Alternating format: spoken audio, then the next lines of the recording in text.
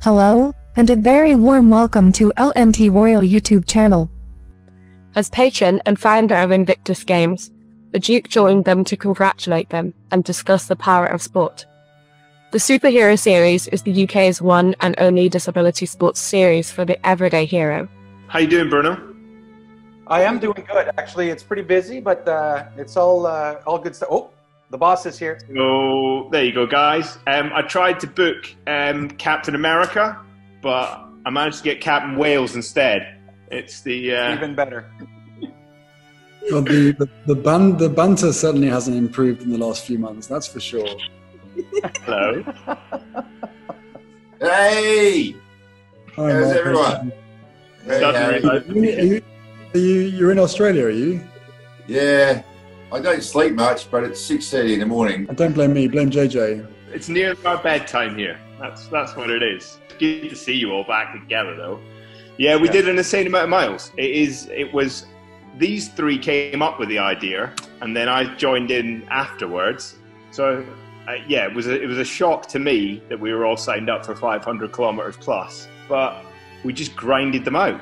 It felt good being part of a team again with these guys, and we were chatting on WhatsApp and joking around, and it gets you motivated. And when you see Bruno put up his stats, you go, "Oh, I've got to go and, and do a ride now because I got to beat his." So you know, With lockdown and everything else that's been going on, and the Hague being uh, postponed as well, surely this was an amazing opportunity for you guys to, to come together, not only to do the physical side, which is you know improving your mental fitness, but to be together as a team doing something like this and having a goal and a purpose, and, that's to some extent a distraction from uh, the day-to-day life. I did about a third of my miles with my family. That was the really lovely thing. You know, I've always said that people ask me if I still want to compete, and, and I said actually, at the end of the day, I just want to be able to ride my bike with my daughter, and she turned four yesterday, so that was amazing. Uh, and you're right, it gave me the routine, you know, it gave me the family time, then it gave me my alone time to settle down and do that. But I mean, we've got to commend the fact that Jen has been, you know, grafted away on the front line in a hospital throughout all of this. like it's been so good because before kind of lockdown and everything. So I'm an anaesthetist. I'm specialised in intensive care. So you know, this is this is my forte. Um, this is what I've been training kind of 20 odd years to do. Um, so you know, it's kind of the work side of things has been obviously quite difficult, but it's just been so nice to kind of get back into the sport and and you know you have to exercise your physical health, but also kind of you know exercise your physical health and your mental health. And I think you know I, I, I probably got a bit a little bit burnt out you know with the stress of, of the change and, and and kind of dealing with sort of changing circumstances. And this was just something so positive uh, amongst it all that it was just um yeah it was brilliant. For guess for, for anybody else watching this who's had a really hard time, whether they've been working on the front line or whether they've been homeschooling their kids or just having their life turns upside down, how can you explain what exercise and sport like this and being part of a team and setting yourself a purpose and a and a goal, but actually getting outside or in, or inside, but just doing some form of physical activity, how that reduces the stress and how whatever you bring back from work or whatever you've consumed in your day-to-day day-to-day life, that you can actually pedal it or sweat it out of you. reflecting on on the challenge we did, it was like, no, it's not going to beat us. We're going to do this because we set this goal. So yeah, This is the point, right? It's not just being part of the Invictus Games and on a global stage. It is with the simplest of things, but the things that anyone can do.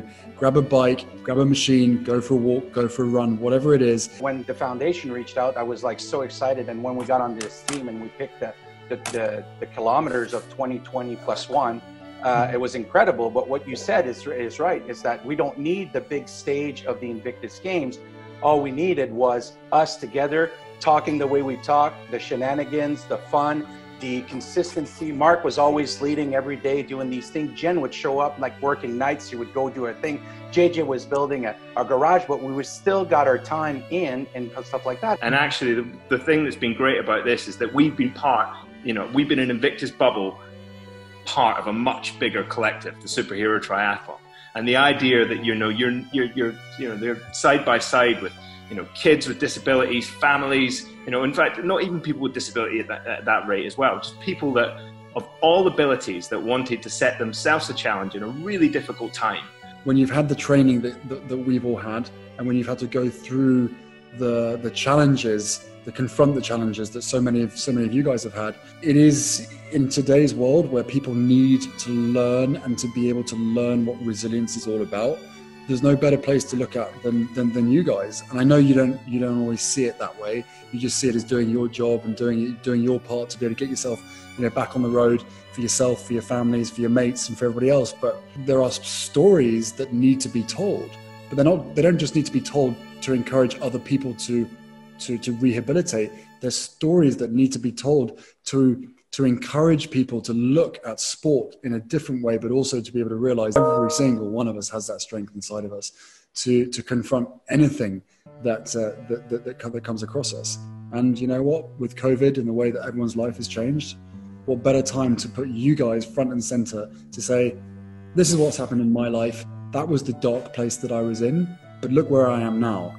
So that sense of happiness is in yourself as well. You know, I think you've got to love yourself before um, you kind of you know can, can kind of look outwards and i think you know part of sport is about redefining who you are and kind of you know just competing against yourself and actually i think it helps you find that sort of sense of self-worth and and then be able to kind of re-engage with things because i think when you're feeling terrible you, you, you feel lost and i think you're not quite sure who you are um, or this new version of you um, you know, and I think um, sport's just a great leveler because it doesn't matter what sport you're doing, it doesn't matter how you're doing it, it doesn't matter what adaptations you've got. You know, actually, if you do the same thing again and again, you're competing yourself and you're, and you're creating a, um, a target that that you can find that sense of achievement. And I think once you can find that, you know, like Bruno says, you can then uh, it's infectious, and you know, you can kind of encourage other people. I've been working with Jenny Anderson at, with and um, Andy um, on the Zwift platform with the Invictus Games. We started off early in the COVID, and this is similar to this, where I'm talking, where you know we join US MES and they got like 120 people that join in. They're all veterans on a group ride on virtual reality. I mean, you're sweating it out on your bike, but the best thing is you have a chat channel, and you can be the first rider right at the front of the pack, and you can be or the last and the last, but talk to each other, and you telling stories, and that's the whole thing about, you know, it's about that belonging that we all miss and being part of that veteran banter and humour. But that's the whole benefit of doing these activities during lockdown and COVID. We learnt from that. It was just fantastic. Everyone was searching the chat channel before they started their ride because they wanted to get on and talk as well as, you know, sweat it out for about 20, 30 Ks. But yeah. So that's that's another example of where it's kicked off, and IGF uh, have taken it to a further level, which is fantastic. The level of adaptation that, that we've had to find as a result of COVID, it reminds you that whilst we've been enforced in lockdown for this period, there are people with a level of disability who live in lockdown all the time. There are people who are bedridden, you know, that are bedbound. There are people, you know, that have, you know, severe disabilities that, that don't allow them to have a what we term a normal life, whatever it may be. And so the fact that this this community has become, you know, virtual has completely leveled the playing field, and there's a lot that we can learn from it. And you know, we'll, we'll, we'll then long may this type of thing actually continue. Because you're right. How do we have a community outside of that amazing week of the games? You know, how do we continue to feel that impact? And I think, you know, I think there's some great blueprints to be learned from all this. I was just going to say that it's so, it's so important to know that if you're if you're going to have a bad day, if you've if you've had a bad week, or you or you've experienced more trauma or another loss or more stress in your life, that you've got at the thing at your fingertips, whether it's a WhatsApp group, whether it's a, an online uh, you know support group or whatever it is, or whether it's just the Invictus community you've always got one, well, not even one. You've always, I guess, if you're going to nod and agree, you've got at least a handful of people that you can reach out to. And yeah. some, some of you may never need it again.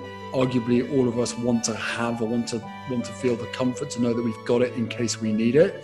Um, but I think more than anything else, as we touched on as well, you've got the, the, the banter there, and you know that if you haven't heard from someone for a while, that the first the first thing you need to do is, is check in on them because just because your life is sort of on track and everything's going, going sort of according to plan there's other people that you may not have heard of, and you check in, you might not you might you might just get the the, yeah, the answer of yeah I'm fine but you guys are the ones that are going to dig a little bit deeper and say fine is not is not the answer that I was looking for I actually need to, I'm actually asking how you are um, and it is it's it's it's it's stressful the injuries that you guys have sustained anyway is one part of it but then how everybody's being forced to live now it's um it's really really different We're, we're planning a reunion in The Hague. That's what we're doing. Yeah, we were. Come We're all.